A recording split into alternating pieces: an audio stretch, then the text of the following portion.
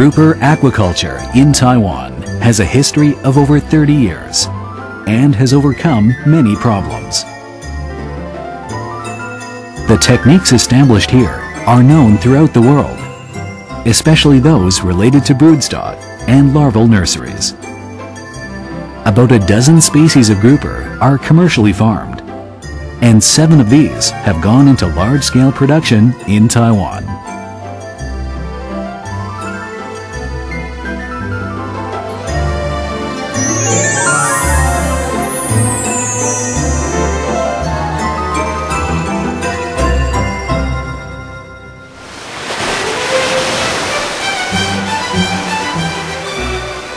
The grouper is a warm water species found mostly in the tropics and subtropics. It has a big mouth and a stocky body and likes to hide in subsurface caves in the reefs.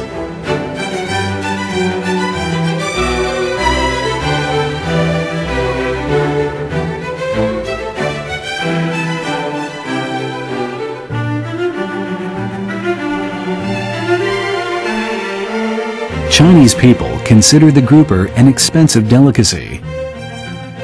Hong Kong in particular is fond of groupers, and it has become the main market for fish from Taiwan.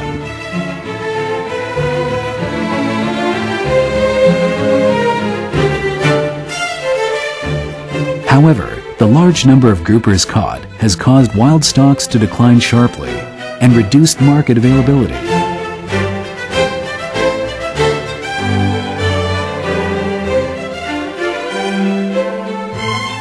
The grouper is gregarious and adaptable and fattens up well on moderate amounts of feed, so it is excellent for aquaculture.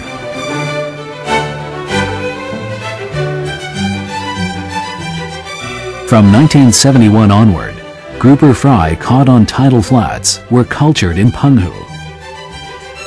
In the following five years, this practice spread to other parts of southern Taiwan. In 1981, the successful artificial propagation of grouper fry had begun to make an impact on the grouper industry. By 1991, artificially propagated grouper fry were being mass-produced. Since then, groupers have been one of the most important fish raised in Taiwan.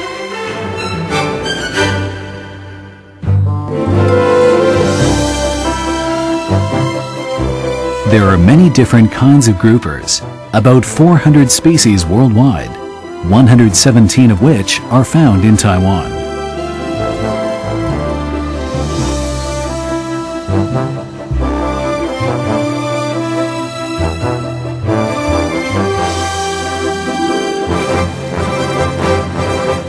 In 1981, Taiwan successfully bred orange-spotted groupers and Malabar groupers.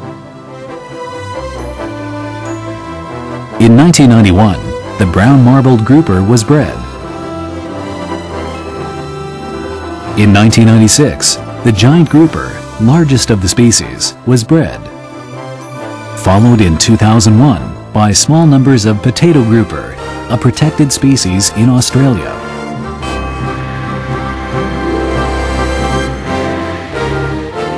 In 2004, the colorful leopard coral grouper was first bred.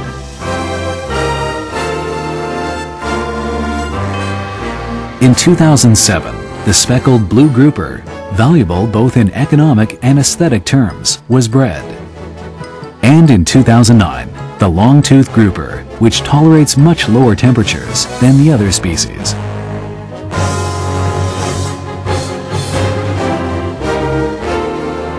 Aquaculture techniques are rapidly developing in the grouper industry.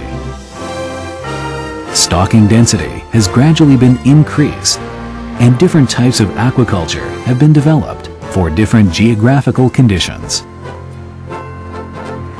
Grouper farming in Taiwan mostly involves pond aquaculture.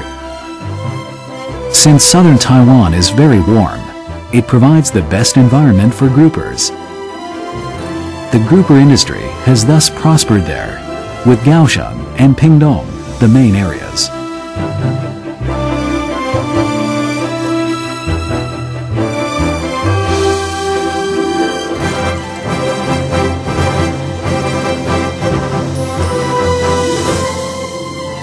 Sea cage aquaculture is used mostly in Penghu because there are suitable bay areas there.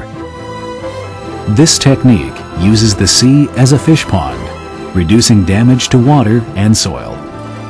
It has become another distinctive feature of Taiwan grouper aquaculture.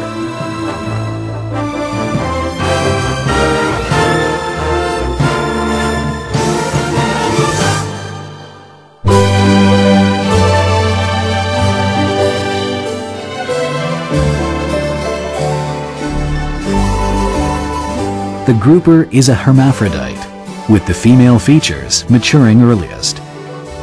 After a few years, the female fish transforms into a male. Thus, mature male stock is difficult to obtain. The bottleneck for mass production of grouper fry is the supply of mature male fish. After many years of research on increasing the production of male groupers, the Fisheries Research Institute began implanting hormones in the fish's body to turn female groupers into males.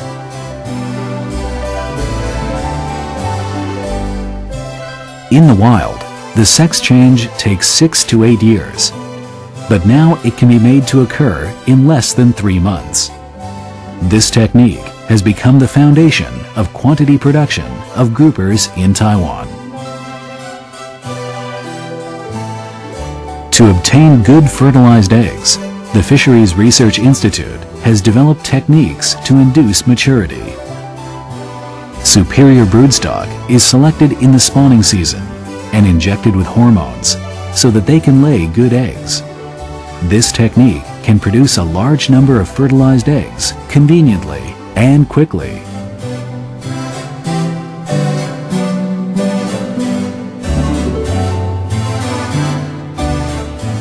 After hormone injections, the broodstock is moved into a spawning pond. Fertilized eggs are then collected with a net.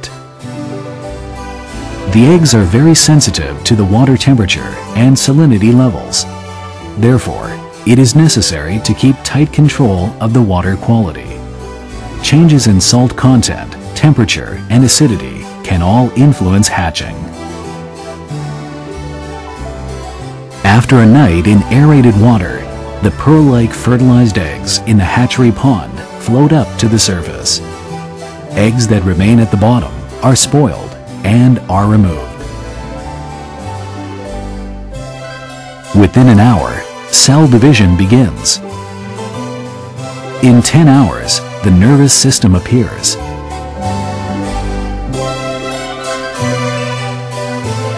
At 17 hours, the eyes and heart. They finally hatch at around the 23rd hour. The larvae are tiny and carry the remains of the yolk in a yolk sac.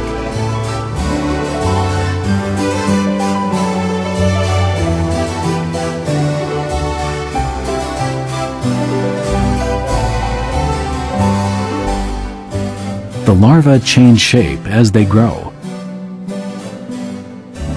After 24 hours, the pectoral fins appear.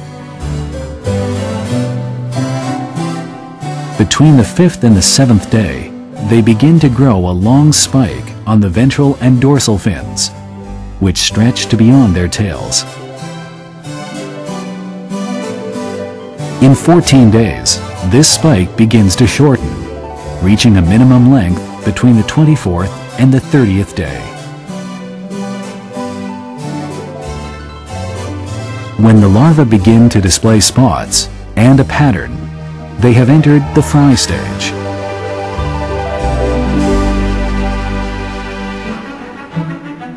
Taiwan grouper aquaculture can be subdivided into broodstock cultivation, the fry nursery, intermediate development, and farmed development. This specification improves aquaculture techniques, as well as minimizing risks at each stage.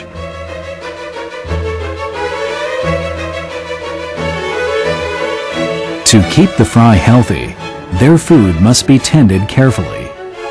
since it is best to feed them live aquatic organisms. The work done by the Fisheries Research Institute on aquatic food organisms has been vital to the quantity production of fry. The first food for grouper fry is fertilized oyster eggs.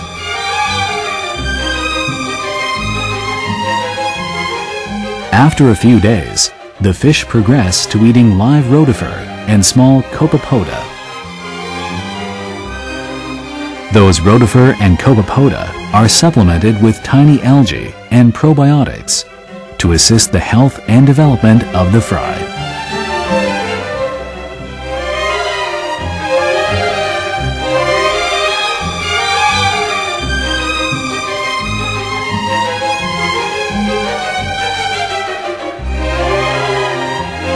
The grouper have entered the fingerling stage when they reach an inch long. They are already being weaned from live food. They are put in clean seawater in sterilized ponds and observed for a few days to check that they are normal.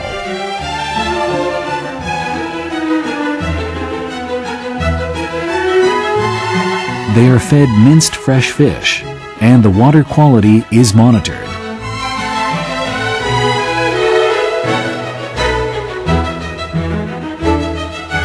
Grouper fry may become cannibalistic. The larger fry will attack the smaller. This means that the food supply has to be kept high enough to discourage the fish from eating each other.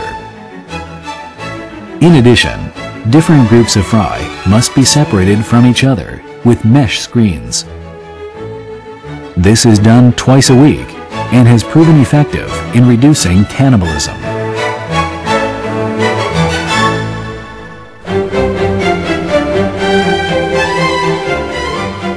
Rapid increase in aquaculture areas and stocking density of groupers has encouraged viral infections. In the 1990s, there were heavy losses from this cause.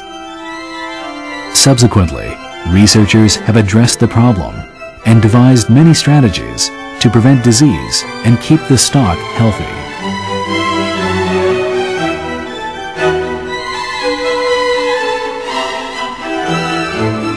To obtain uncontaminated broodstock, two processes are employed. Artificial sex change to shorten breeding times and polymerase chain reaction PCR techniques to screen for viruses. Viruses spread easily through pond water and aquatic organisms, and so environmental control is very important. In general, disinfection of pond water, facilities, and controlled aquatic organisms is used to block pathogens. The Fisheries Research Institute has also built up specific pathogen-free SPF, broodstock breeding, and model spawning farms. The purpose is to isolate the cause of grouper illnesses and carry out comprehensive epidemic prevention. Many academic organizations are trying to develop vaccines for grouper viruses. They hope through these studies, coordinated with the Fisheries Research Institute, to reduce the spread of viruses and reinforce the grouper's immune system as a disease control strategy.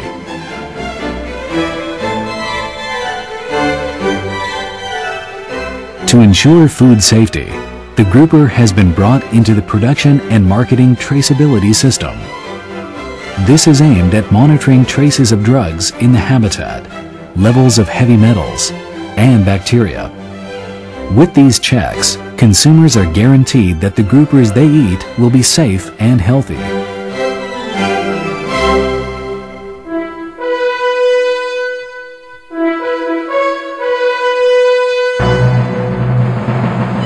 To increase the variety of cultured fish, the Fisheries Research Institute has made major advances in grouper aquaculture one concerns Plectropomus leopardus, especially favored by the Hong Kong market. There is also Epinephelus bruneus, which can adapt to relatively low temperatures from 5 to 33 degrees Celsius, This species removes the temperature limitations that have restricted grouper production to southern Taiwan. Currently, research is focused on mass production.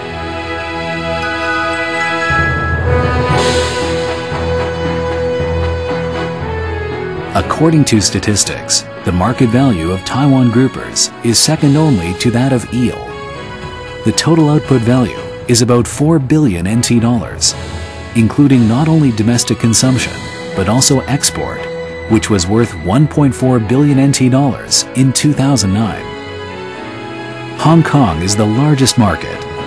Live fish boats have been specially built to improve the shipping of groupers which are loaded on board from live fish transport vehicles. The fish are transported at relatively low temperatures to slow their metabolisms. Using live fish boats has increased the survival rate for shipped groupers and has also reduced the overall cost of shipping.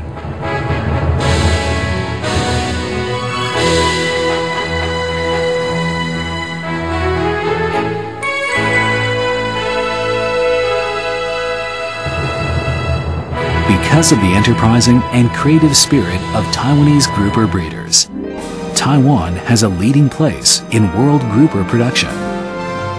To guarantee continued development of the grouper industry, the Fisheries Research Institute will concentrate on broodstock selection, find new techniques of producing SPF broodstock, establish a model farm for mass seed production, and advise grouper farmers how to produce good quality seeds.